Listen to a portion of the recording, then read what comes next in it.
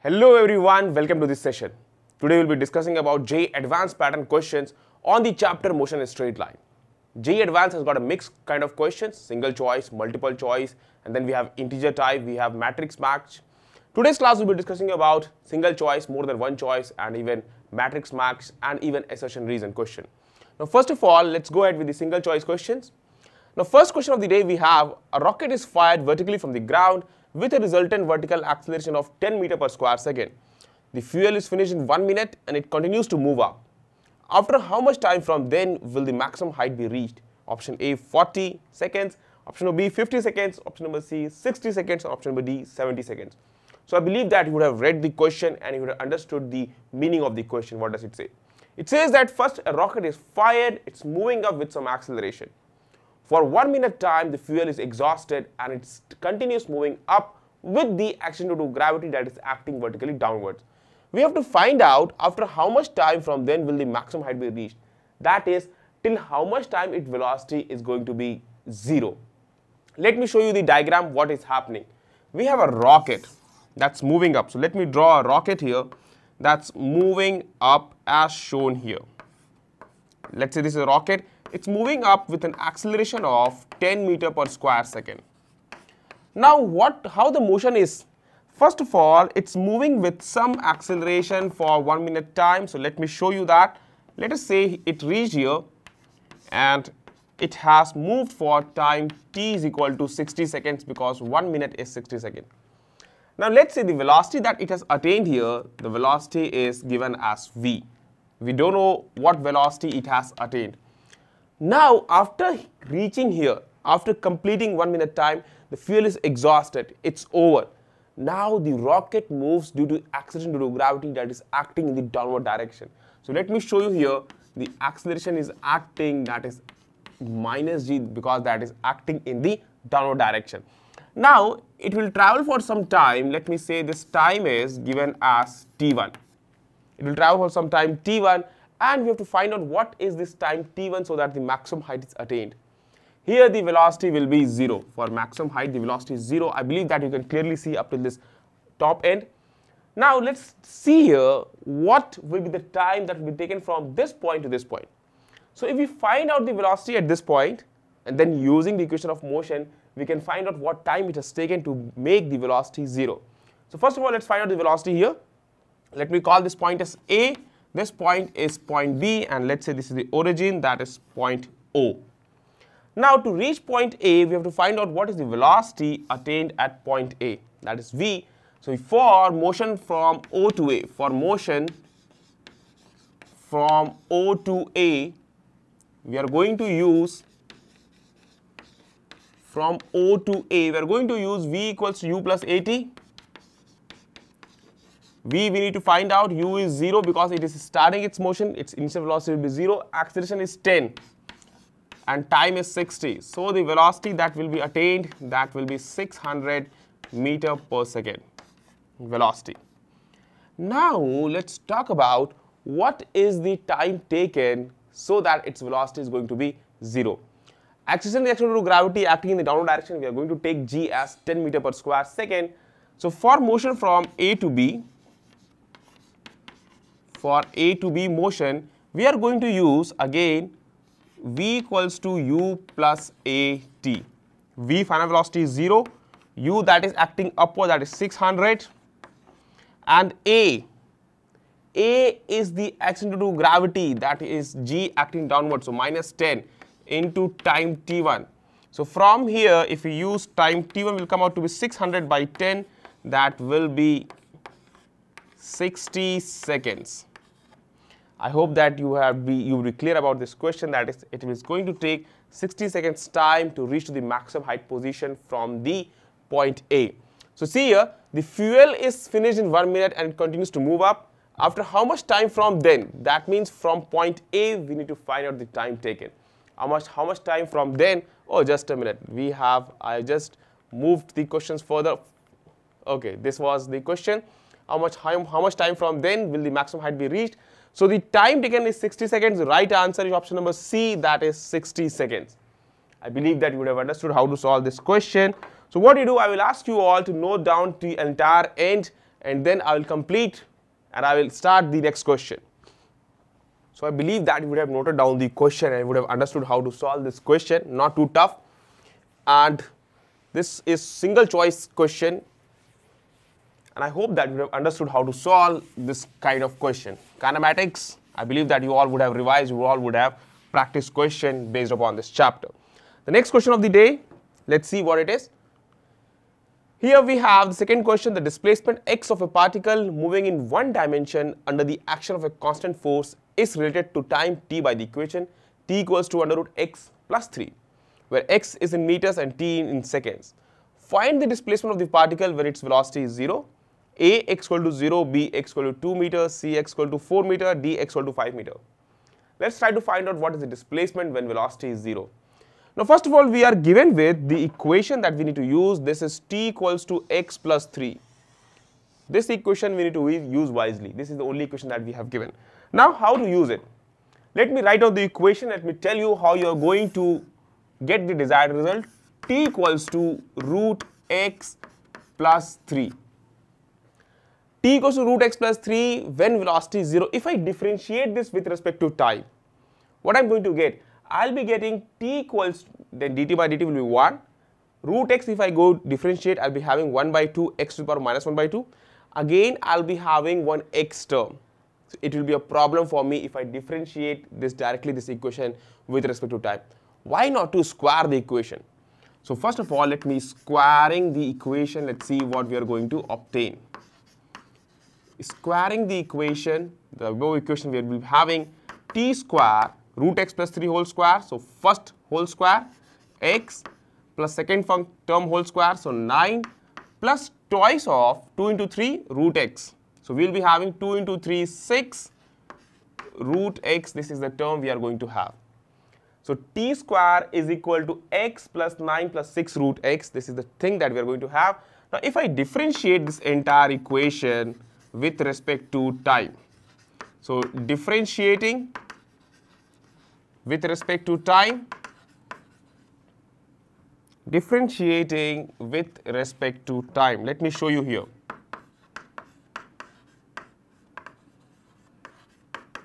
Now say a root x again we are having here. Root x we can substitute by t minus 3 that is the thing we can do so before differentiating if I write root x because if I differentiate again we'll be having a root x problem so why not to substitute root x in terms of t minus 3? So before differentiating what you do, you have to substitute this equation in terms of root x substitute with time. So you'll be having t square is equal to x plus 9 plus 6 t minus 3. You can do this. So you'll be having finally the equation will turn out to be x is equal to keep x here t square minus 60 see I am framing t square minus 60 plus 9 minus 18 so you will be having plus 9 minus 18 that will be minus 9 bring it here you will be having plus 9 plus 9 this equation you are going to obtain because I have taken this term here so t square minus 60 here I was having minus 18 plus 9 minus 9 I brought it here I got plus 9 now you differentiate the equation. So let me just write down this part at the end now differentiate equation number 1 with respect to time t. With respect to time t, see what we are going to obtain dx by dt. This is the thing that we are going to obtain. So let me write down dx by dt. Now next term, t square minus 60 plus 9. t square will be 2t t square will be 2t then minus 60 you will be having minus 6 and 9 will be 0 so 2t minus 6 we got. dx by dt is the speed that you can take as velocity also. So here dx by dt if I take it as v is equal to 2t minus 6 if velocity has to be 0 so what we are going to get now put v equals to 0 we'll be having 2t minus 6 equal to 0 or t is equal to 3 second that means at t equals to 3 second the velocity or the speed will be 0. In this case I am not differentiating the term velocity and speed. So at t equals to 3 seconds the velocity is going to be 0. So let me write down here at t equals to 3 v is equal to 0. That means we need to find out what is the displacement in time t equals to 3 seconds. Observe this equation. If we substitute the value of t as 3 here, you can get the value of x. You can see here t equals to 3 and 3 is here, that will be cancelled out, x will come out to be 0. Or for the safer side, you can use this equation. You can use this equation and you can get the value of x. So what I'm going to do, I'm going to use this equation x equal to t square minus 60 plus 9. So we are having from equation number 1, we are having x equal to t square minus 60 plus 9. Put t equals to 3. When you put t equals to 3, you're going to obtain x equal to 3 whole square minus 6 into 3 plus 9. This is we are going to obtain. 9 plus 9, 18, 18 minus 18, 0, so x equal to 0. That means option number A is the right answer, that is x equal to 0. I hope that you have understood how to solve this kind of question. First of all, we expanded the equation, we differentiated it, we got what is the velocity at any particular time, then we got the time that is 3 seconds. Then in 3 seconds, what is the displacement we got? I hope that you have understood. So take note till here for the entire question. Take note till here and let me start from the other end. I believe that you would have taken note of this question and you would have understood how to solve such kind of question. Now we will be proceeding with the next one. Let me clear the board and then we'll proceed with the next question of the day. Hope that you are understanding each part and you are taking note of how to solve such kind of question. Let's go to the next one. Diagram given. Third one. In the arrangement shown in figure, the ends P and Q of an unstretchable string move downwards with uniform speed u. These strings are moving downwards with speed u. Pulleys A and B are fixed. This pulley A, this pulley B are fixed. Mass M moves upward with a speed we need to find out how it is related. A 2u cos theta, B u by cos theta, C 2u by cos theta, D u cos theta. Let's see how the speed of this mass m is related with the speed of this string. I will show you this diagram, elaborated diagram, how and what things are happening. First of all, we are provided with two pulleys as shown we are having two pulleys and we have a string connecting a mass. This is what we are provided with. We have got two pulleys here. Now this string flows through this pulley and it's coming down with some velocity. This is pulley A, this is pulley B.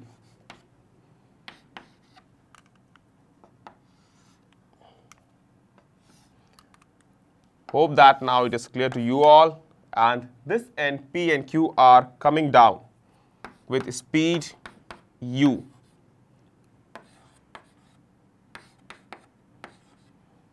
Now you see we have a block attached here. We have a block of some mass m attached here. It will be coming up. Let's say its velocity is v that it is coming up. We have to find out how v is related to with the speed u. These strings are coming down with speed u now see, it's given that this angle is theta. This is what that has been given to us. Now if I take this dotted line upward and let me connect this part, let me call this length as y and let me call this constant length as c and this length of string as L. We can frame this diagram in this way, we can make the variables to be represented in this way. Now you see in this triangle, observe this triangle, I am not marking the ends, you can easily see this triangle. From this triangle, I can write that L square is equal to y square plus c square. That's quite easy, L square is equal to y square plus c square. So let me write down L square is equal to y square plus c square. Next thing that you have to do, it's a kind of constraint motion. Next thing that you have to do, you can differentiate the entire term with respect to time t. Differentiate with respect to time t. So you'll be having 2L dl by dt is equal to 2y dy by dt. And plus c differential will be 0 because it's constant. y is changing, l is changing. See, both are decreasing. Although I've shown that only positive values by differentiating, but it's, see, it's decreasing, it's decreasing. This will be actually coming out to be negative, it will be minus dl by dt. Let's talk about that now. 2 and 2 will be cancelled out. You'll be having dy by dt dy by dt turns out to be, you see here, it will be L by y into dl by dt. L by y into dl by dt. Now, what is dl by dt? The rate of change of length L, the rate of change of length L, and it's changing at this rate with the speed u. It's changing at this rate, that speed u.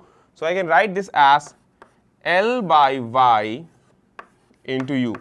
Now, what is L by y? The same thing can be written in this way.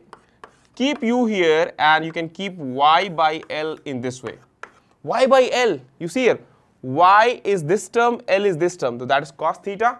So you can write this as u by cos theta.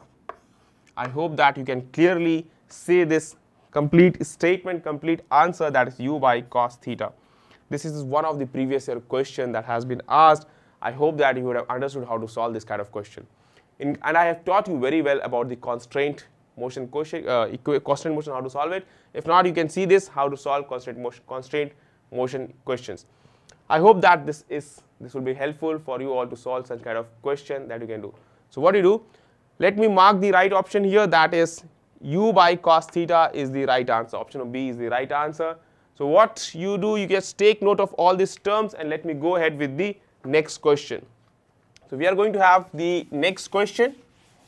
I hope that you would have taken note of all these things.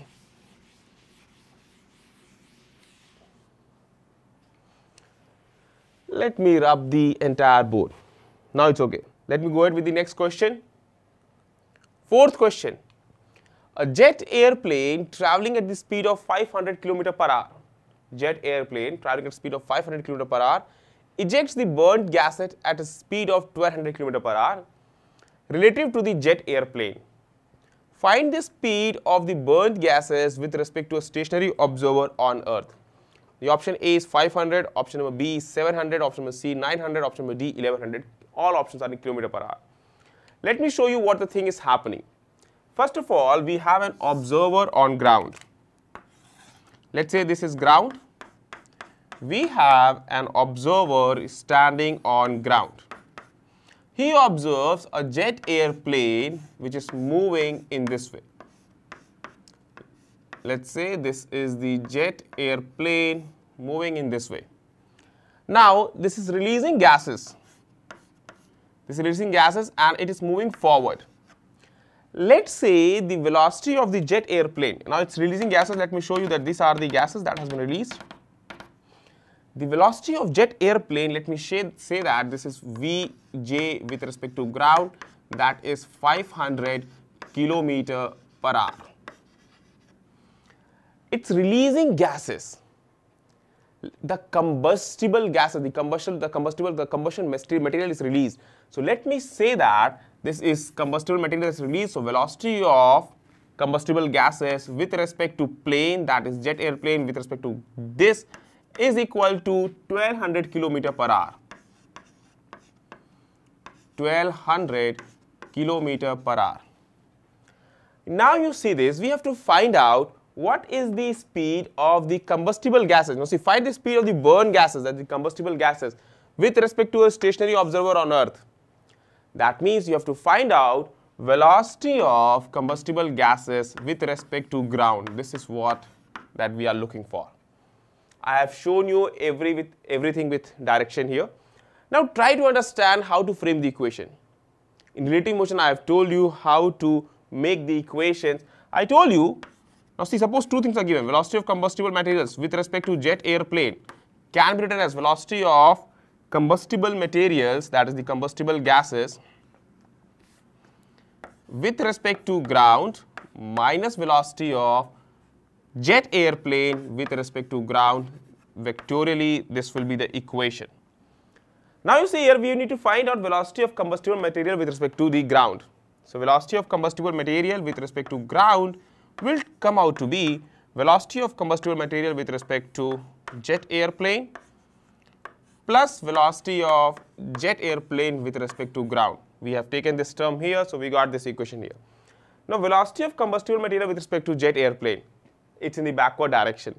Let me take this direction as negative and this direction as positive. So we'll be having velocity of combustible material with respect to jet airplane that will be minus 1200. So let me put up here this is going to be minus 1200 plus velocity of jet airplane that is going towards the right hand side that will be plus 500. So minus 1200 plus 500 this will be the resultant answer. So I believe that if you would have understood the answer will be minus 700. So I'm going to write here velocity of combustible gases with respect to ground is minus 700 kilometer per hour. Minus 700 kilometer per hour that is it is towards the left hand side. I hope that you have got the answer. So from here option number A 500, B 700. So yes option B is the right answer. So let me mark here B is going to be the right answer that is 700 kilometer per hour and since we got negative that signifies it's moving towards the left hand side. I hope that this would entail you a better understanding of this question. So what do you do? Take note of this entire solution and let me start from the other end. So I believe that you have understood how to solve such kind of question. Let's go with the next one that we have. Sixth one, a parachutist bails out from an aeroplane and after dropping through a distance of 40 meter, he opens the parachute and deaccelerates at 2 meter per square second. If he reaches the ground with a speed of 2 meter per second, how long he is in the air, at what height did he bail out from the plane? So first of all, let me show you the scenario what is happening. The first line says that a parachutist bails out from an aeroplane and after dropping through a distance of 40 meter, he opens the parachute. Let's say the aeroplane is here, we have the aeroplane here, the parachute is dro getting dropped from this aeroplane and he travels for 40 meter as he opens the parachute. So after traveling the parachute 40 meter, he will open the parachute here. Opens parachute.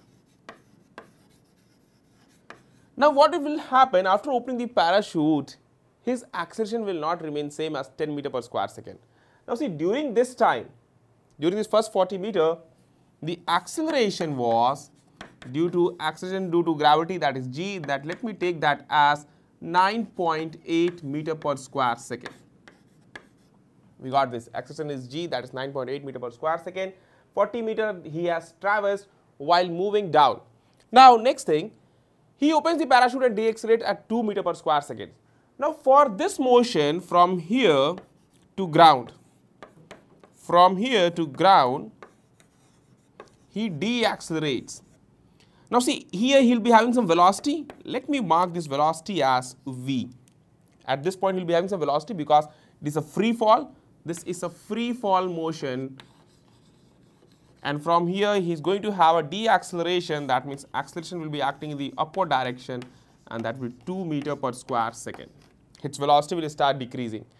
As he hits the ground, it's given that his velocity is 2 meter per square second, 2 meter per second, sorry if he reaches the ground with a speed of 2 meter per second. So let me show you here as he reaches the ground the velocity will be 2 meter per second. So what were things we need to find out? How long is he in the air? So we need to find out the entire time taken from here to here. What is the entire time taken? Second, at what height did he bail out from the plane? And what is the total height that he has actually been in the air? So first of all, see this diagram. Let's try to find out what is the time taken from this point to this point, let's say this is time t1 and we'll mark the lower section as time t2. So let me show you that here we have this time as time t2. So let us go ahead and let's find out the value of t1, t2. We are given this 40 meter. We need to also find this displacement, this distance that is s. Let's go ahead. Now from this to this motion, how to find out the time 40 meter is given we have produced 40 meter. So can we use s equal to ut plus half at square? So for and let me also mark for simplicity let me also mark each of the terminals name A, B and let's say this is C. So from A to B, the motion from A to B, from A to B, we have, we can use S equal to ut plus half at square, S equal to ut plus half at square, S is given as 40, U is 0 and half the value of A you can use at 9.8 and time T we have taken as T1 whole square. This will come out to be T1 whole square will turn out to be 2 into 40 divided by 9.8 that is 40 by 4.9. 40 by 4.9 this will be one of the result. So, T1 will be under root 40 by 4.9. How to simplify this? This can be written as 400 by 49. So, 20 by 7 will be the resultant answer. 20 by 7 will be the resultant answer for T1. We got that as 20 by 7 seconds. So, T1 we got. Next part that we need to know. Next part you see how to find out the velocity at this point B. So, velocity at point B that we have marked as V. So, at B if we use V square is equal to U square plus 2AS v square is equal to u square plus 2as. So, we can use u as 0, 2 as 9.8 and s, s is 40. So, s 40 we have used. So, we will get the velocity value as 2 into 9.8 into 40 that will come out to be 80 into 9.8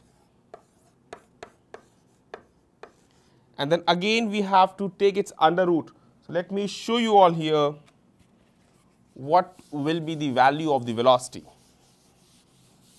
So, that will come out to be v equals to under root 18 to 9.8. See how we can simplify this. Can I write this as 160 into 4.9? The same thing can be written as 160 into 4.9 and before that let me write this as 18 to 9.8. How to simplify this? This will come out to be take 0 here 998 can write this as 98. So, this will be 8, you can write this as 16 into 49, not a problem. So, this will be 4 into 7, that is 28 meter per second. We have simplified this. So, we got the value of velocity, we got this value of time t1, this we have to keep separately. So, I am marking this time t1 as 20 by 7 seconds here because this will be useful in our further calculation and value of velocity that we have just now reached that is 28 meter per second. Now, what is the time taken to move from B to C? Let us try to evaluate that. What is the time taken to move from B to C? So, let us go ahead. So, for B to C, B to C we need to find out what is the time taken. We know the value of velocity here, we know the value of velocity here. We are provided with this, we know the value of d acceleration also. So, we can use v equals to u plus 80. Final velocity in the downward direction is given as 2, initial velocity is 28 and then acceleration is actually d acceleration is acting upward. So, we can mark that as 28 minus 2 into time let us say t2 that we have marked t2. So, now this will come out to be and how to find out that 2 equals to 28 minus 2 into T2 from here T2 will come out to be you see here 2 we can write this as take it here so 2 T2 will be 28 minus 2 that is 26 so T2 comes out to be 13 seconds. So we got this. T2 comes out to be 13 seconds. So let me show you here T2 is 13 second. I have written this term also. Next we are interested in finding out the displacement from B to C displacement from B to C, what will be that? For it, can we use S equal to ut plus half at square? That also we can use, we have the value of u. We, we can also use v square equal to u square plus 2as. Use v square is equal to u square plus 2as. v is given as 2, u is given as 28 a is negative, so minus 2 into 2 and into S. So, for this you can see this will be 4 and we can write this as 4s is equal to 28 whole square minus 2 whole square. We can solve this 28 whole square minus 2 whole square. See what will what this will give to us. S we are going to get that as S is equal to 28 whole square minus 2 whole square that will be 4 divided by 4. We need to solve this simply and you will get the value of the displacement that you can easily solve it. The final value of displacement, we will get this value of S. The final value of displacement will be sum of this value plus 40. That will be the required result plus 40. You will be seeing this and you will be calculating this. You will be getting this answer as 195 meter. This is what you will be getting uh, this is 235, 335. Yeah, this uh, first of all displacement that you will be getting after calculation that will be near to 195 meter that you can check. The final displacement, the total displacement will be sum of 40 plus 195 meter that will come out to be. So, total displacement is from A to C will be 195 plus 40 that is 235 meter. First thing you can calculate, you will be getting that as 195 plus 40 that is 235 meter. So, what do you take note till here and I will start from the other end take note till here. So, I believe that if you understood you, have, you would have solved this part 195 meter total displacement will be 195 plus 40 because you have to also add this part. So, what 235 meter. So, if you check the first answer 235 meter option number A is right. At what height did he bail out from the plane? So, height is 235 meter that is the first response. We also calculated indirectly the value of total time taken. One time we got 13 seconds, the other time was 20 by 7. So, total time comes out to be 13 plus 20 by 7. 13 plus 20 by 7, 20 by 7 that will be 2 point something, that will be 2 point and then we will be having 6 by 7 that will be nearly equal to 86 you will be getting this as 15.86 seconds. You can calculate this as you will be getting 20 by 7 will be nearly 2.8 something like that. So, 15.86 you will be getting.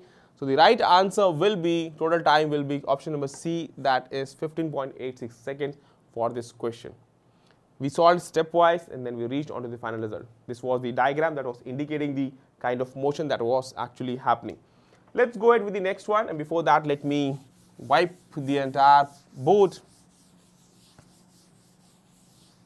and we'll proceed with the next question.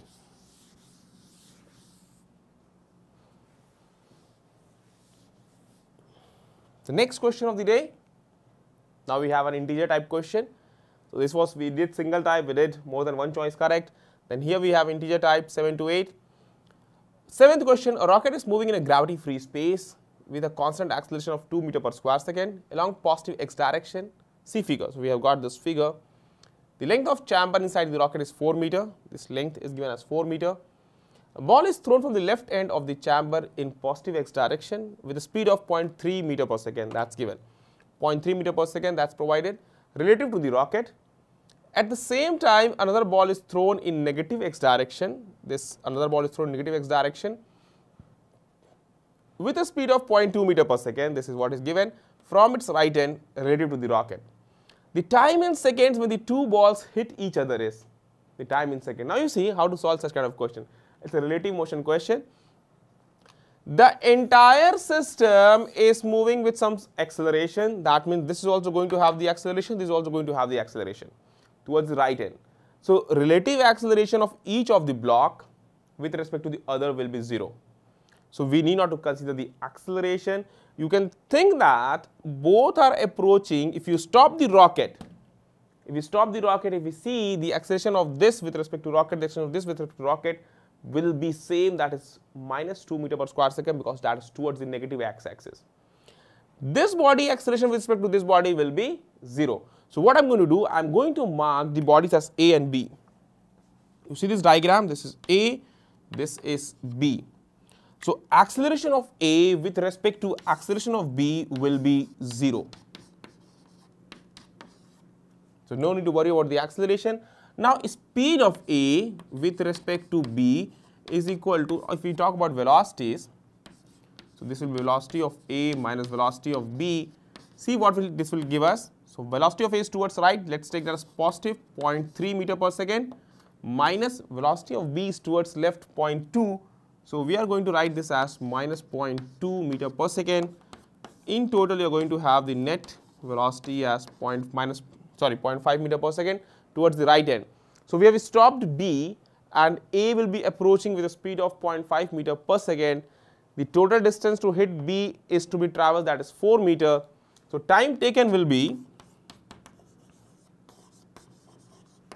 simply total distance divided by 4 divided by the speed that is 0.5 that will be 8 seconds. This is the right answer 8 seconds. So integer type you have to fill the answer 8 in your OMR sheet. So 8 wherever 8 is given you have to encircle that part. How you have solved? We have used simple concept no need to worry about the complexity of the statement that has been provided. You need to see, you need to think wisely how to approach what question is asking from, from us. Let's go with the next one. Let me clear this part. Next part and next question we have. Eighth one, this is a very good question. Airplanes A and B, you see airplanes A and B are flying with constant velocity in the same vertical plane. The plane is same at angles 30 degree and 60 degree with respect to the horizontal respectively. So, this is 30 degree, this is 60 degree. As shown in figure, the speed of A is 100 root 3 meter per second. At time t equals to 0, an observer in A finds B at a distance of 500 meter. This observer sees B moving with a constant velocity perpendicular to the line of motion of A.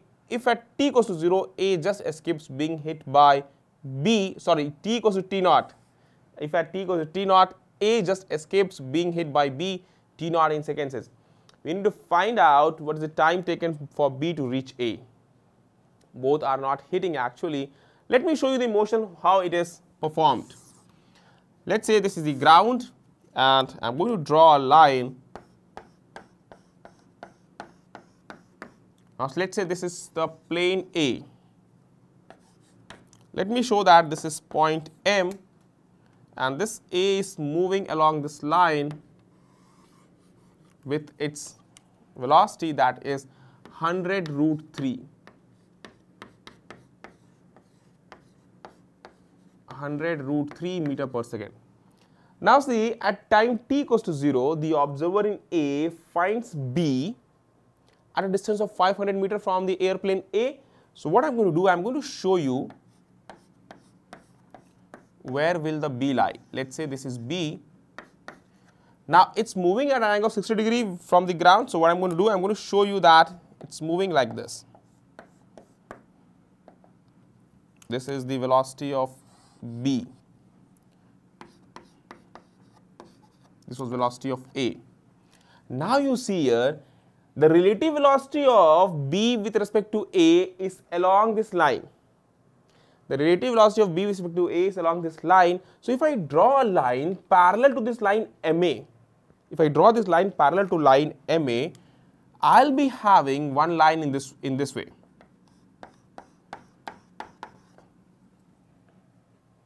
Now see here, first of all, I have shown you this is 30 degree,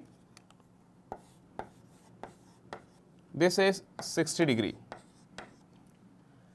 Now this angle will be 30 degree, although it might not be clear, this angle has to be 30 degree because this is 60 degree, this is 30 degree, I have drawn it parallel. So this angle will be 30 degree. Now, since velocity of A, sorry, velocity of B with respect to A is along this line, perpendicular to this line MA, it's given that velocity of B with respect to A is perpendicular to line MA, is perpendicular to line MA.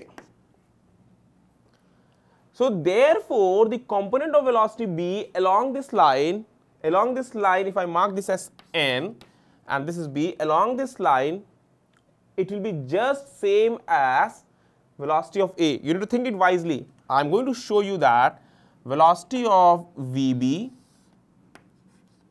cos 30 degree will be same as velocity of a because no component, no, see, because this component has to be equal to this component because only velocity of b is to a that is perpendicular to the line ma. So we are going to have one more velocity. Let me mark this as vb, and this can be written as vb sine 30 degree. So first of all, let me show you that va is equal to vb cos 30 degree from first information. va will be equal to vb cos 30 degree from here, VA is given as 100 root 3, VB and cos 30 is root 3 by 2. So, VB will come out to be 200 meter per second.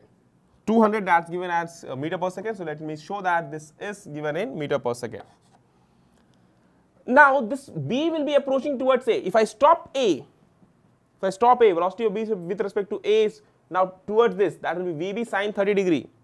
So let me show you Vb sine 30 degree the speed with which it is approaching towards A that will be 200 into 1 by 2 that will come out to be 100 meter per second. Clear? This distance is given as 500 meter as the time when he sees. This is 500 meter. what you have to do, you have to simply time that you have to mark what time he takes to reach from here to here and just escapes A just escapes being hit by B that time will be distance upon speed and distance is 500 speed you got as 100 so the time will come out to be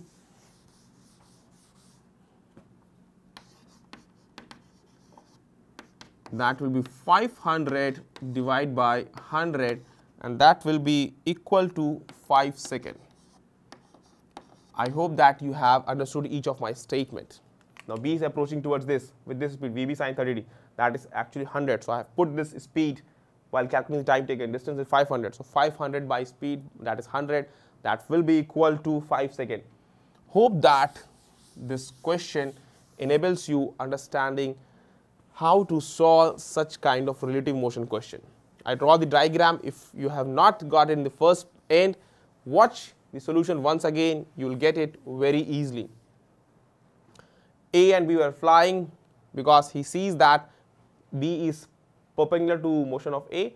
So, parallel to A there will be no component both will be having same, same component. So, I equated that we got the velocity of B and then velocity of B approaching towards A use it that was given as VB sine 30 degree and then we found out what is the time that is distance one speed because distance 500 meter that he observes.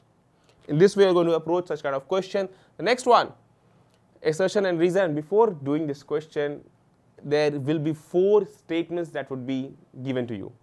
Four options A, B, C, D, how you have to opt.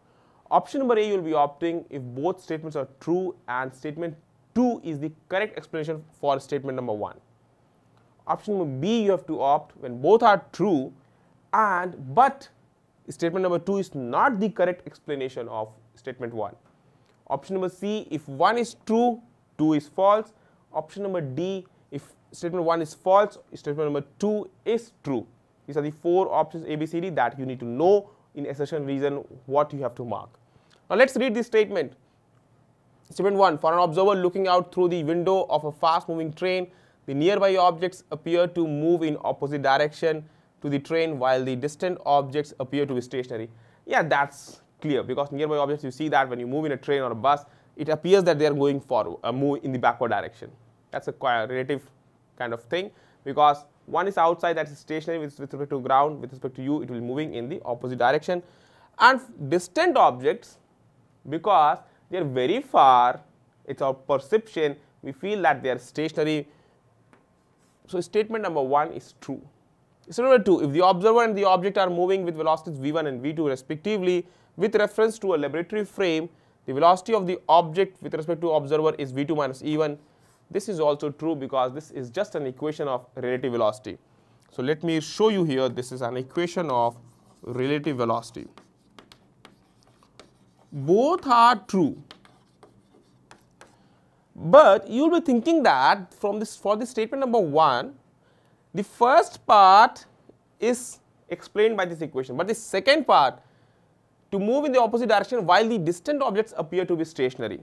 Second part is not explained because second part actually the line of sight when you join a very distant object with your eyesight the way it is going to change as you move forward because the way the angle that is going to traverse at the next instant of time that will be very small so you will find that they are stationary. So this is not explaining this part this is just due to perception. So we will be not saying that this is this statement is going to explain this. Both are true but this is not the correct explanation of statement number 1. So hence you are going to choose option number B that is 1 is true. Second statement is also true but it is not the correct explanation. Since 2 is not correct explanation for 1 so hence I am taking option number B as the right answer. 2 is not correct explanation of 1 so we are done with this question also. Let's go ahead.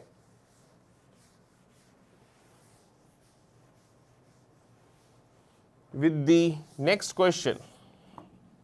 So, we have did the ninth question and we have the tenth one here. Fill in the blanks, sometimes you may get fill in the blank kind of question, we have to mark the answer. Tenth question, spotlight S rotates in a horizontal plane with constant angular velocity 0.1 radian per second. The spot of light P moves along the wall at a distance of 3 meter the velocity of the spot P when theta equals to 45 degree, see figure is, you have to find out the velocity of P. This spot light is moving with some angular velocity. Now see here, if I say that this distance is x, you observe this figure. So we can write that tan theta is equal to x by 3, tan theta equals to x by 3, we can write that. So let me show you here tan theta is equal to x by 3. Then again we can write that x equal to 3 tan theta. If I differentiate this dx by dt with respect to time I have differentiated this dx by dt I will be getting this as 3 sec square theta d theta by dt. We are getting this. Now what is dx by dt? This is velocity of point P as it approaches towards this wall velocity of point P. So, I am marking this as velocity of P is equal to 3 sec square theta d theta by dt will be omega. The angular speed with which this spotlight is rotating that is given as 0.1 radian per second. So, you need to put up the values you will get the answer. So, put for theta is equal to 45 degree. Sec theta will be root 2 for theta equal to 45 degree sec theta because cos 45 is 1 by root 2 so sec theta will be root 2 let's go ahead let's put up the value. Vp will come out to be 3 sec square theta so that will be root 2 whole square and into omega that will be 0.1 3 into 2 that will be 6 into 0.1 you will get 0.6 meter per second hence you have to fill the answer as 0.6 meter per second let me do that it will be 0.6 meter per second. This will be the right answer. So, I believe that you would have understood how to solve this. You need to see how this x is related with the angular velocity of this spotlight S that has been given. It was moving in this way.